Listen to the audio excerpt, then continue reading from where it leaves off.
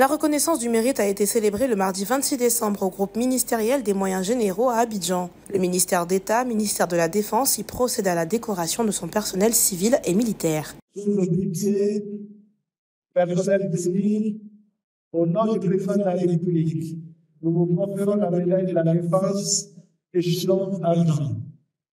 Major général des armées.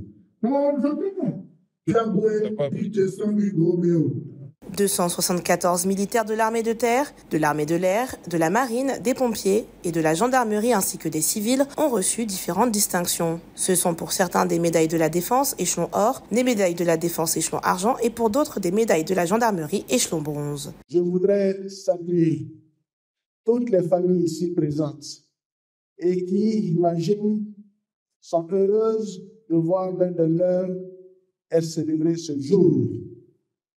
Chers récipiendaires, je vous félicite pour les distinctions amplement méritées, preuve de tous les efforts fournis pour la bonne marche de notre institution militaire. Je vous exhorte à continuer sur cet élan et à être des exemples pour tous nos compatriotes.